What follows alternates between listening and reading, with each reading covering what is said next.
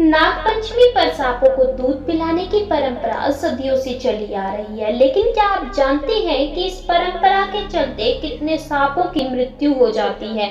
अगर आप भी ऐसा कुछ करते हैं तो इस परंपरा का हिस्सा बनने से पहले यह वीडियो पूरी देखिएगा। उसके बाद निर्णय लीजिएगा कि आप कितने सही हैं। सबसे पहले जानते हैं कि इस परंपरा की शुरुआत कहाँ से हुई थी। इस परंपरा की शुरुआत राजा परीक्षित से मानी जाती है। राजा परीक्षित पांडवों के वंशज थे, अभिमन्यु के पुत्र थे। राजा परीक्षित की मृत्यु तक्षक सांप के काटने से हुई थी। पिता की मृत्यु के बाद परीक्षित के पुत्र जन्मेजय के संकल्प लिया कि वह धरती के सभी सांपों को समाप्त कर देंगे। इसके लिए उन्होंने एक यज्ञ का आयोजन किया। यज्ञ के प्रभाव से सभी सांप आकर यज्ञ कुंड में गिरने लगे। घबराकर तक्षक नाग अपनी जान बचाने के लिए इंद्रदेव के सिंहासन में जाकर छिप गया। इसलिए यज्ञ के प्रभाव से इंद्रदेव का सिंहासन हवन कुंड की ओर खींचने लगा।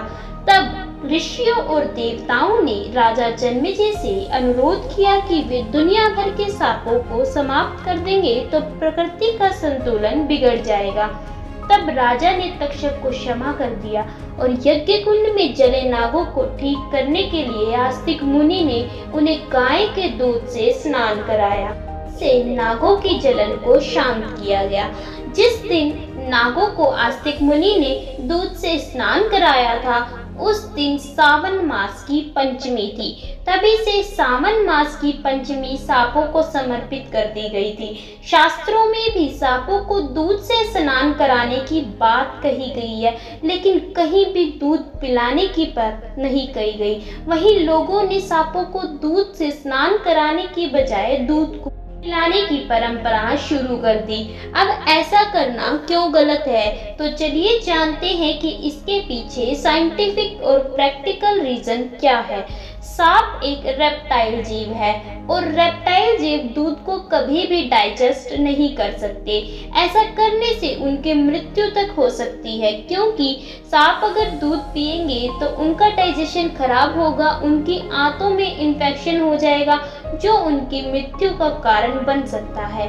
अब एक पहलू यह भी है कि नाग पंचमी में कुछ दिन पहले जंगल से सांपों को पकड़ा जाता है। उसके बाद उन्हें भूखा प्यासा रखा जाता है और इनके दांत निकाल दिए जाते हैं।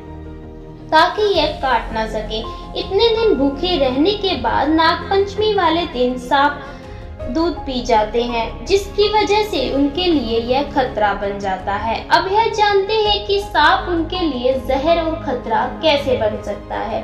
सपेरे नाग पंचमी से पहले सांपों को पकड़कर उनके दांतों को तोड़ देते हैं। और जहर निकाल देते हैं। अब इससे सांपों के मुँह में घाव बन जाते हैं और जैसे ही वह दूध पीते हैं, वह घाव और ज़्यादा गहरे हो जाते हैं, जिनकी वजह से उनकी मृत्यु हो जाती तो दोस्तों नाग पंचमी पर नागों को दूध पिलाने की परंपरा कितनी सही है और कितनी गलत, यह आज हम आप पर छोड़ते हैं। उम्मीद करते हैं कि आज की इस वीडियो के बाद आपके सारे संशय दूर हो गए होंगे।